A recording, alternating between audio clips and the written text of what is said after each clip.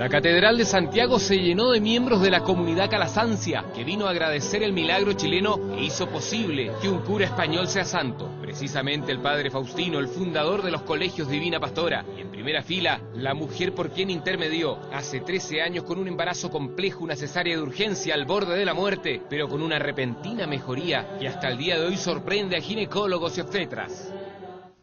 Sacamos la guagua que salió bien, afortunadamente terminamos la parte obstétrica y ahí procedimos a la cirugía y nos encontramos con una, imagen que es bien dantesca. El hígado está roto una parte y está sangrando. Esa mujer tuvo que ser sometida a una cirugía compleja de contención, estaba sangrando, tuvimos que transfundir litros de litros esa noche. Al otro día ocurre otro evento que es impresionante y me llaman y me dicen que la paciente está con muerte cerebral, textual.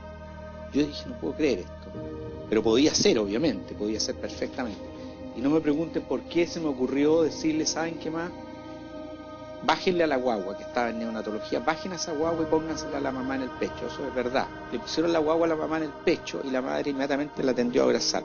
Porque acuérdense, Claudio, que nosotros los obstetras en general vemos pacientes sanas. No estamos acostumbrados a que se nos mueran las pacientes. Pero diría que uno de los cuadros más graves que yo he visto. Que la presión se les va a las nubes, tienen compromiso de coagulación, renal, hay compromiso hepático y estos embarazos pues, se, complican en horas y pueden terminar muy mal. Lo que está claro es que para que esto se acabe tiene que salir la placenta. Y ustedes comprenderán que no es lo mismo que salga la placenta a las 36 semanas que a las 23. Son cuadros graves. Esto puede terminar en una muerte materna y fetal. O puede terminar una mujer con un accidente vascular encefálico, una hemorragia intracraniana, o puede terminar con una hemorragia intraabdominal por rotura del hígado. Hay mortalidad.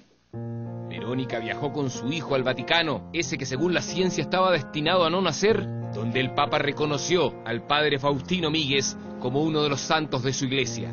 Entonces había mucha emoción, mucha alegría también, porque después de algo tan triste que vivimos hace 14 años, eso se transformaba en un momento de gozo y alegría junto al Papa.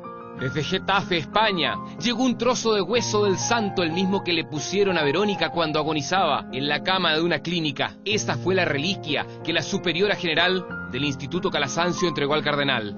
Es muy impresionante precisamente en una madre que estaba en gran dificultad de su vida, esperando familia, y como con una fuerza enorme surgió la oración y vino el milagro.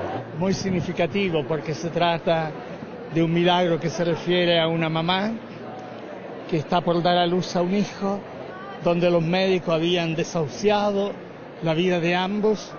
Y hoy día también aquí en la catedral estaba la mamá, el papá, el hijo, que estuvieron también junto al Papa Francisco.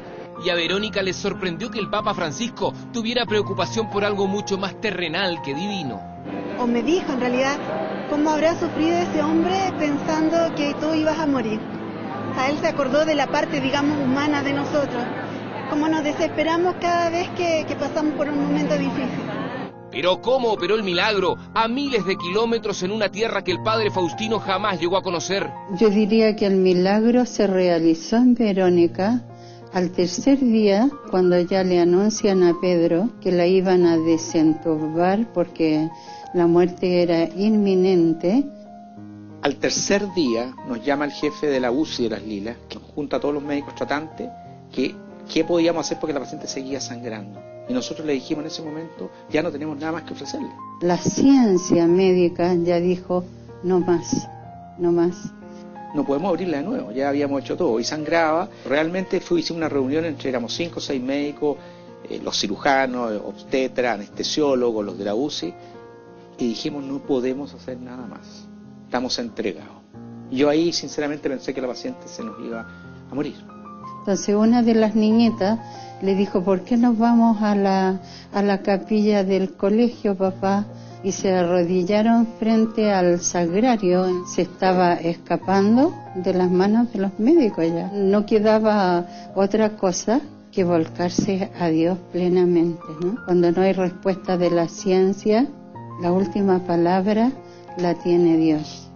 Y entre 12 y 24 horas la paciente no me pregunten cómo hubo una recuperación. Pero está en ese momento en una situación crítica, crítica. No tengo duda, Claudio, que hay cosas que no tenemos respuesta y en medicina también. Particularmente no soy un creyente como usted, pero este caso yo considero que caería en lo que uno podría ser un milagro, porque nosotros no teníamos por dónde, usando toda la tecnología.